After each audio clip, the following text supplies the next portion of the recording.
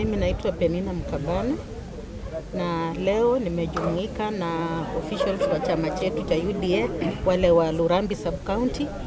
Haja kubwa ya kukutana nao ilikuwa ili tujuane nao, kwa maana huwezi kuwa candidate na ujuani na viongozi wa chama.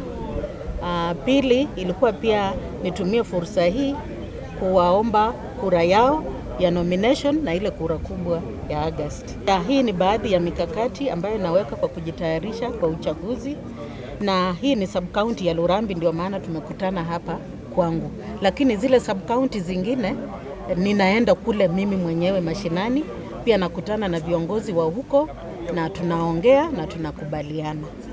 So wale supporters wangu uh, both wale ambao wako katika chama cha UDA na wale ambao wako katika chama cha UDA, ninawaomba kura yenu, na manifesto yangu nimepeana waziwazi, na nina uhakika ya kwamba mkinipa hii nafasi nitaweza kuwahudumia kwa ile njia ambayo mnataka.